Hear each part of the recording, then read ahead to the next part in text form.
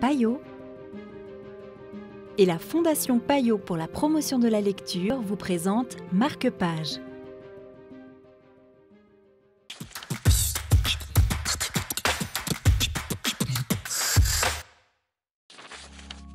Bonjour et bienvenue dans Marque-Page. Aujourd'hui, nous découvrons Madeleine Résistance, la rose découpillée de Bertaille, Morvan et Riffaut, aux éditions Air Libre.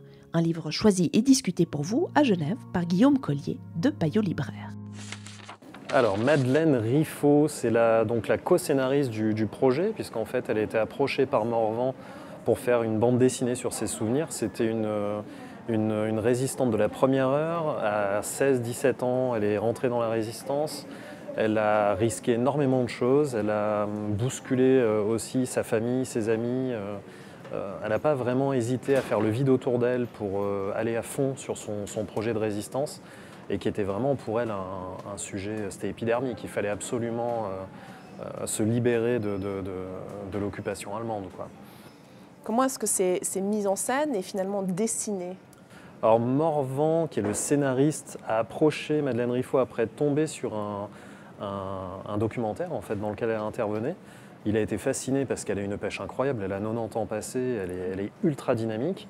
Euh, et, ensuite, il a amené Bertheil sur le projet, qui est un dessinateur génial, qui pour l'instant a toujours été un peu en, sous-marin, c'est-à-dire qu'il n'a jamais eu d'énormes succès.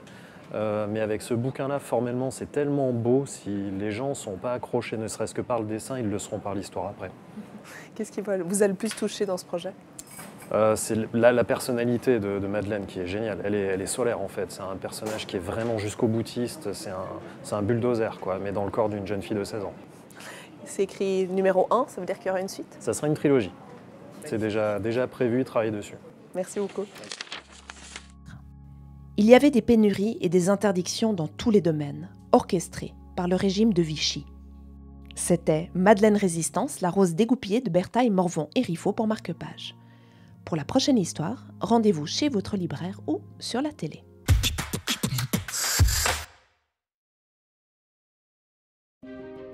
Payot et la Fondation Payot pour la promotion de la lecture vous ont présenté Marque-Page.